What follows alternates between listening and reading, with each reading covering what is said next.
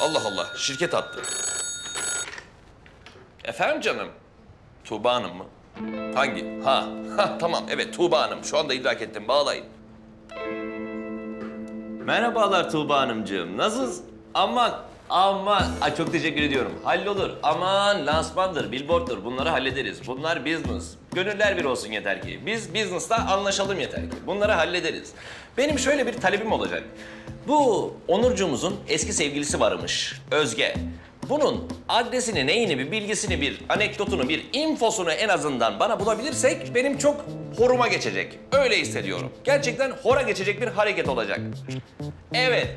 Teşekkür. Zaten yüz yüze bakıyoruz şurada. Sen bunu halledersin diye düşünüyorum. Haydi bakalım Tuğba'cığım. Sana güveniyorum. Arslansın, kaplansın. Haydi bakalım. Öpüyorum.